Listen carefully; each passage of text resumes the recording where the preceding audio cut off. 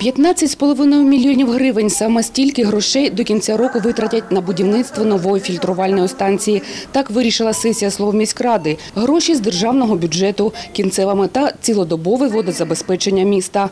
А в 2013-му капітально відремонтують школи мистецтв у Слов'янську, Святогірську та Миколаївці.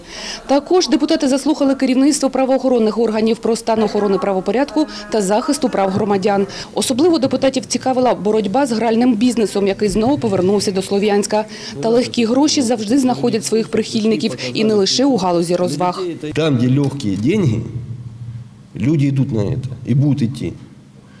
То, что, например, по, по тем же наркотикам, сколько мы их и в прессе показываем, и садим, и проводим мероприятия. В этом году у нас задокументировано, со- возбуждено 48 уголовных дел только за сбыты.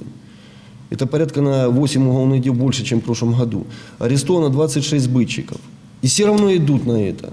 Все равно идут. Это легкие деньги. Люди просто ну, с ума сходят.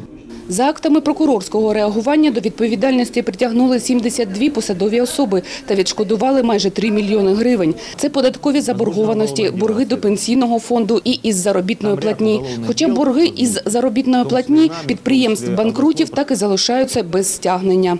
Риторический вопрос, когда он выплатится, я вам не скажу, потому что сам не знаю На- государством наложен мораторий на ликвидацию этих предприятий. Как только разрешат его продать, хотя там уже продавать нечего, если бы изначально это сделали, я думаю, уже давно все выплаты по задолженности были сделаны. І знову про видатки. До кінця року планують зробити документацію для газифікації селища Семенівки, збудувати котельню в мікрорайоні колишнього оліжиркомбінату, газопровід на Собачівці.